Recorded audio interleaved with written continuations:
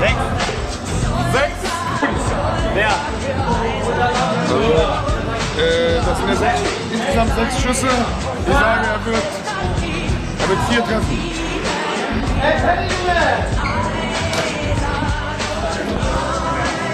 Mindestens sechs. Ja. Vier von sechs. Wie? Dreimal. Nur? Was soll ich denn tippen? Ich weiß ja nicht, worum das geht. Ich hoffe alle. Aber, aber er trifft nur zwei. Unten eins, oben. Oben zwei. Drei. Ähm, ich glaube, Markus trifft ein. Also, ich behaupte, Markus Schindler trifft mehr, als der SC Gitter jemals getroffen hat im ZDF Sportstudio. Wir sind beim Torwartschießen mit Markus Schindler.